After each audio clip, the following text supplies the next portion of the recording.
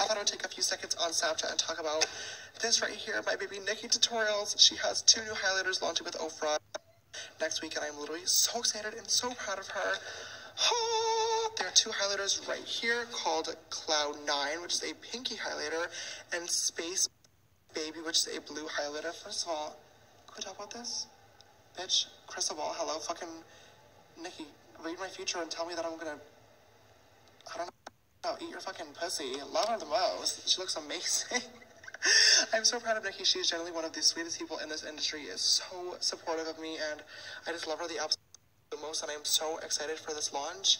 You guys better get ready on August 21st at 1 p.m. Pacific Standard Time Ofra Cosmetics. Use code Nikkie or code James for 30% off. And congratulations, Nikkie. So the first one we have is Cloud 9. As you can see, it has a pink little shift. I hope you guys can see this on camera. I feel like with duochrome highlighters, you never can, but it's pink, I promise.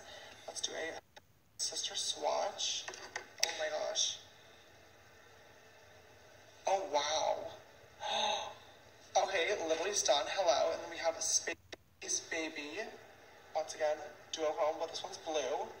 Another sister swatch, clean finger. Oh my gosh.